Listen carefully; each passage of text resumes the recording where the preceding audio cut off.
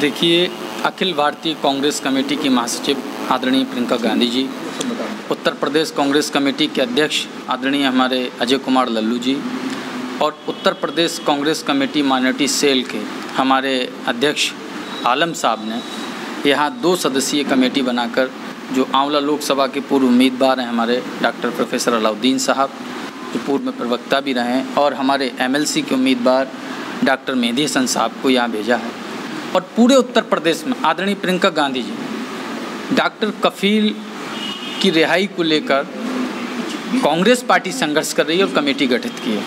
क्योंकि किसी का इलाज करना, बच्चों का इलाज करना इस देश में और कहीं भी जुर्म नहीं। डॉक्टर कफील ने अच्छे काम किए थे और उन पर इस तरीके से मैं कहना चाहता हूँ सीधे हमारे उत्तर प्रदेश के मुख्यमंत्री योगी आदित्यनाथ जी को कि अपनी जाति दुश्मनी एक तरह से डॉक्टर कफील के साथ निभाई जा रही है उनके इशारे पर डॉक्टर कफील को। एन लगाकर, एक बार नहीं दो दो बार एन लगा के जेल से बाहर भी नहीं आते हैं, डबल डबल एन लगा के उनको जेल में रखा जा रहा। ये गलत है। क्योंकि अब ऐसी कुर्सी पे उत्तर प्रदेश के मुख्यमंत्री हमारे योगी आदित्यनाथ जी बैठे हैं, उनको पूरे उत्तर प्रदेश की जनता को एक समान देखना चाहिए और जो दोषी उनके खिलाफ कार्रवाई करना चाहिए। ना कि अपनी जाति दुश्मनी, अगर कोई कहना नहीं मानता क्योंकि गोरखपुर की घटना है। गोरखपुर से सांसद थे और कहीं ना कहीं उनसे, डॉक्टर कफील से भेदभाव रखते थे इसी के संदर्भ में लेकर और सिर्फ़ उनके नाम के आगे मैं सीधा आरोप लगा रहा हूँ। एक जाति विशेष के लोगों को खास तौर से, जिन पर कोई आरोप नहीं है, गलत झूठे आरोप लगा के उनको जेल भेजने का काम किया जा रहा है। मैं आज, मुझे पीड़ा होती है। क्या आपने देखा होगा, आज़म खां की मैं बात करूँगा। भले ही समाजवादी पार्टी के लोग आवाज़ ना उठाते हों। हम कहते हैं कि उनका ये क्या मुर्गी चुराने का काम करेंगे? क्या बकरी चुराने का कोई कैबिनेट मंत्री काम कर सकता है?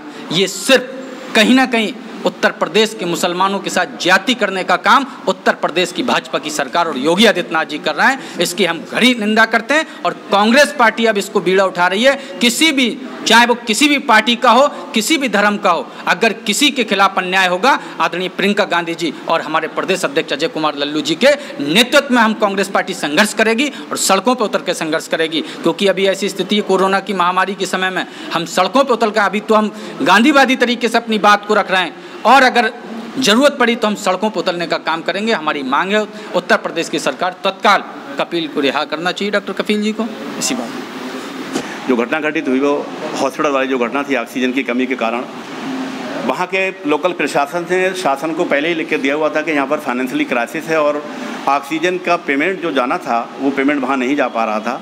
और अचानक रात में देखा गया कि इमरजेंसी में ऑक्सीजन की कमी पड़ रही है। डॉक्टर कफील साहब वहाँ पर थे क्योंकि वो उस डिपार्टमेंट के सुपरिटेंडेंट थे। आपने रात में ही चार सिलेंडर की व्यवस्था करके जैसे तैसे करके बच्चों को जान बचाने के लिए पूरी कोशिश की और अपने किसी मित्र के हॉस्पिटल से सिलेंडर को बाहर किया, खुद जाके वो लेके आ, जाके और उन्होंने बच्चों की जान बचाने सारा काम किया। दस तारीख के बाद ग्यारह बारह में बहुत प्रशंसा हुई, पूरे हिंदुस्तान के अंदर चर्चा हुई कि असली हीरो डॉक्टर कफील हैं। और तेरह तारीख को फिर एक नया षडयंत्र रख के सोशल मीडिया के माध्यम से एक अफवाह फैला के, एक षडयंत्र रच के जो है उनके खिलाफ एफआईआर करके और उनको अरेस्ट कर लिया जाता है, उनको जेल भेज दिया जाता है। उसके बाद में फिर उन्होंने अपनी जमानत लगाई, उसके बाद ऑनरेबल हाई कोर्ट ने उनको, सभी केसेस में उसे, उनको क्लीन चीट दी गई। उसके बाद में फिर ये चलता रहा। उनके बीच में एक बार उनके भाई पर अटैक किया गया, जिसमें उनकी जान बच गई। उसके बाद में फिर ये एन पी ये वाला जो घटना जो शुरू हुई तो इसमें अलीगढ़ यूनिवर्सिटी में डॉक्टर कफील वहाँ पर स्पीच दे रहे थे, क्योंकि स्पीक टू राइट ये हमारा राइट है, किसी का भी राइट है, अपनी बात को रखने का अधिकार है। वहाँ पर वो बोल रहे थे तो वहाँ पर उनको वहीं उसी मंच से ही ए एम यू के कैंपस में ही उनको अरेस्ट कर लिया गया। और अरेस्ट करने के बाद में, उसके बाद में फिर आठ दिन के अंदर वहाँ के डिस्ट्रिक्ट कोर्ट ने उनको जमानत दे दी और जमानत देने के बाद उनको कोर्ट से निकलने के बजाय दूसरे केसों में लगा के फिर उनको जो है नहीं निकलने दिया। उसके बाद फिर उन पर एन की कार्रवाई की गई। मैं उत्तर प्रदेश सरकार से ये पूछना चाहता हूँ कि एक डॉक्टर सुप्रिंटेंडेंट जो किसी हॉस्पिटल का सुपरिटेंडेंट हो, जो कि गवर्नमेंट के द्वारा जो कंडक्ट किया जाता हो, चलाया जाता हो, क्या उस डॉक्टर पर बच्चों की जान बचाने के जुर्मे आप एन लगाएँगे? ये कौन सा रूल है? ये इसका जवाब उत्तर प्रदेश सरकार को, केंद्र सरकार को देना होगा। डॉक्टर कफील को ऑनरेबल कोर्ट ने पूरी तरह से सारे केसों में उनको क्लीन चिट दी, उसके बावजूद भी आप उनको, उनकी रिहाई नहीं कर रहे हैं। उनके बीवी बच्चे, बीच में उनके बहुत सारी फाइनेंशियल क्राइसिस आई, उनको सैलरी उनकी बंद कर देगी, उनके खाते जो है, जो अकाउंट से गाड़ियों के और दूसरी चीज़ों के, वो एनपीए होने लगे।